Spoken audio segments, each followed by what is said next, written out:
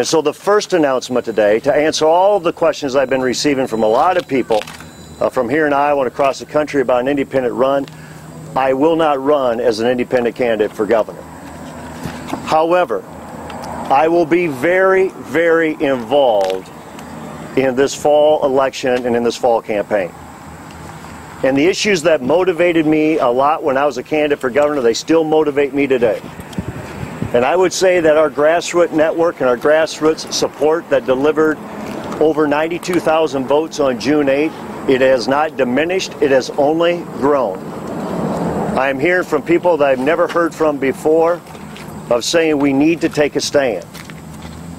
And so what we are going to do is we are going to take all of our effort, all of our energy, all of our resources, all of our network, and we're going to become crystal clear in our focus on unseating three justices on the November 2 ballot. Because I believe we need to hold a court in check. In 1998, the legislature that makes the law was very clear. The governor that executes the law signed that law, that legislation into law. In the Defense of Marriage Act, that marriage is between one man and one woman.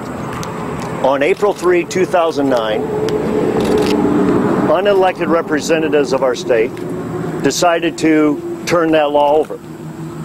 They said that they're going to hold up Iowa's Constitution to an evolving standard. They do not get to evolve our Constitution, only we, the people, get to evolve our Constitution.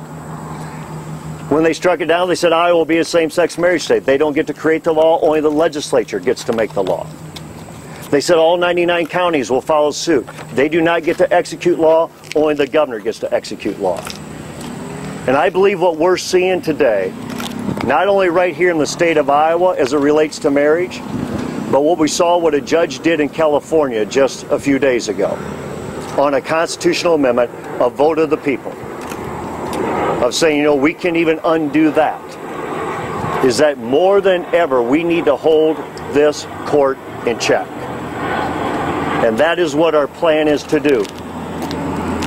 When I leave here today, I will be going into intense strategy sessions with the best and the brightest from around the state and around the country and we will be unleashing a full effort and campaign in the next coming days. And we will all let you know when that is going to take place.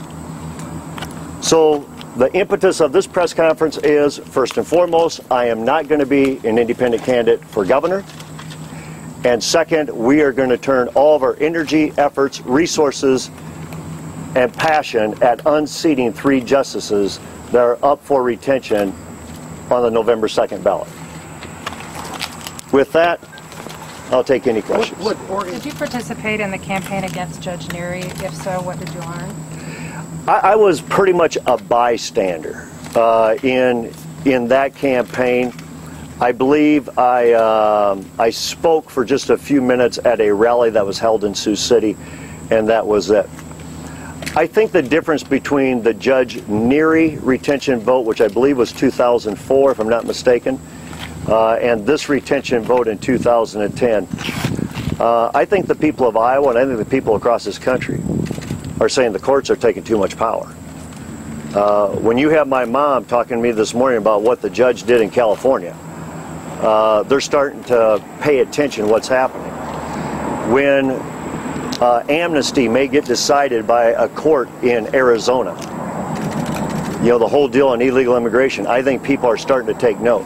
I believe this election to unseat these three justices may be, if not one of the most, the most important campaign and election in the entire country. Have you lined up support from the Republican Governors Association? We have had, not the Republican Governors Association, but we do have some initial support that's going to make this a very real effort. I may be wrong about this, but I think the Polk County District Judge who was involved in this case is also up for election this time. Why, why not include him? Okay, let's include him. I, I'm, I'm okay with that.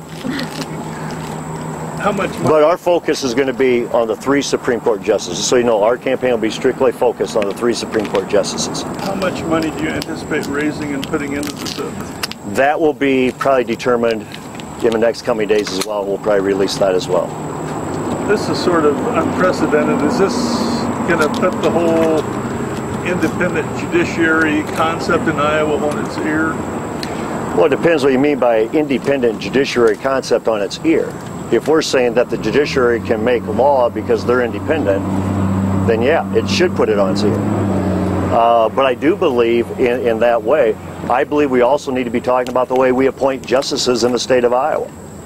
Uh, I think what we need to be looking at is maybe the governor appointing justices and going through a Senate confirmation, just like they do at the federal level, uh, versus having the Bar Association bring three justices for the governor to pick one. If the governor doesn't pick one, the Chief Justice picks one. I think that system needs to be relooked at as well. But this effort and this campaign is directly to hold the Supreme Court in check by working on an effort to unseat three justices that decided that they were the legislature, that decided they were the governor, that they decided they were the kingmakers in the state of Iowa. We need to vote them off.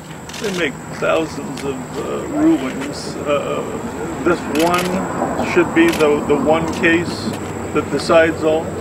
I think what it is, Rod, and you heard me say in my campaign, is if they will do this to marriage, every other one of your freedoms is up for grabs. That's why in Arizona you see illegal immigration maybe be decided by the court. You've seen at the Supreme Court level 5 4 decisions on the Second Amendment right. If a judge in California will reverse a constitutional amendment by the vote of the people, who says they're not going to throw away your Second Amendment or your Tenth Amendment uh, or your private property, eminent domain? So even though there may be some people in Iowa that agree with the opinion that this Supreme Court made, there's a lot of other freedoms at risk if you continue to allow them to go down this path. And that's why I believe we can witness success on November 2. How is the Prop 8 ruling, in your opinion, how does it affect the push here in Iowa for a marriage amendment? Does that change your opinion of whether we need to amend the Constitution here? Well, I I still think it would be a good move to let the people of Iowa vote on this issue and to have a constitutional amendment. But I think what it does, it highlights this effort to get rid of three Supreme Court justices that choose to make law. Because if they're willing to take a constitutional amendment, a vote of the people, and by the way, the California, if you recall, they voted in mass for our current president, Barack Obama. Those same people who voted for Barack Obama also voted for one man, one woman marriage. And now you have a judge saying, ah, we don't care what you say. Uh, you know, we'll overturn that as well. So I think what it'll do is it will attract a lot more enthusiasm, energy, and momentum here in the state of Iowa for this effort that we're talking about. The fact that this was unanimous leads some people to conclude that this wasn't necessarily uh, uh, rogue judges making a decision, that they all were of a like mind, that, that, that they were following the law. I believe, Rod, and maybe it's the conspiracy theorist in me, I believe the reason it was unanimous was to protect their seats on the court. When they make a ruling of a controversial nature and decision, uh, most of the time you'll see it's a unanimous decision. Why not mount a campaign to make sure that congressional candidates that are like-minded with you are elected rather than Supreme Court justice? Because after all, we need a federal constitution now. Well, well, believe me, uh, I will advocate for uh, congressional candidates who are like-minded with me. I mean, I'll, I'll work very hard for them to get elected. But the other part of it is, is, and this was my whole theory behind the executive order, letting the people of Iowa vote on a marriage amendment, that's one step. But what does that do to hold a court in check? Uh, having a constitutional convention, to me, that's reckless in the first place. But what does that do to hold a court in check? You need to hold a court in check. And the way you hold a court in check is you terminate the people who make decisions that are not theirs to make. Or you have a governor who says, I'm going to issue an executive order that says, you stepped outside of your boundaries, we're going to hold you in check. That's what the balance of powers, that's what the separation of powers was supposed to be about. So to me, this is a big issue and it's a very important issue in this fall election.